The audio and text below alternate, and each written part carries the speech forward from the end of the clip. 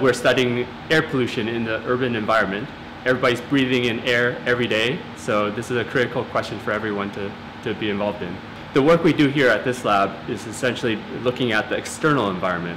So looking at the geometry of the buildings in the city and uh, how the wind flow moves pollution around these complex geometries.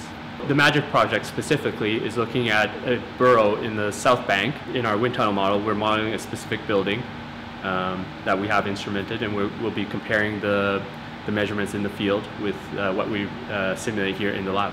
So the particular experiments we're performing are involving measuring velocity with laser techniques. So we use a technique where we cross two laser beams and measure the velocity at that crossing point, and we move that crossing point through the neighborhood of interest.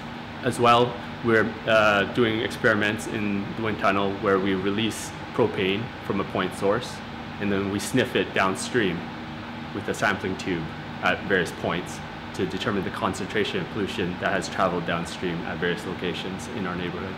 Right, so I think we've talked enough. Uh, I'm actually standing in front of the wind tunnel where I do experiments. Why don't we take a look inside?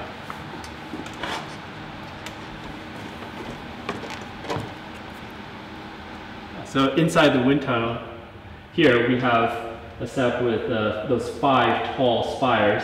So that's to produce the right wind conditions that are approaching our model. And you can see all the little short strips here of the roughness elements. So that's to sustain the gustiness of the wind as it approaches so that we have the right approaching wind conditions. Our experiments are focused on this particular region of London. So this roundabout intersection. And our study building is right here. So we have the busy London roadside.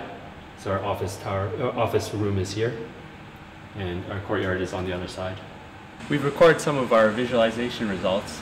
We had a camera mounted looking down on the model, and essentially we're releasing smoke up here, and we're looking at how the smoke travels downwind to the Clarence Center site. So we've enhanced the visualization by turning out the lights and we have a horizontal laser light sheet which allows us to visualize the vortices coming off of this tall building and the other buildings upstream of the current site. So this interaction of the upper level winds and the street level winds that the pedestrians are exposed to is a big question that we're trying to answer here with this work.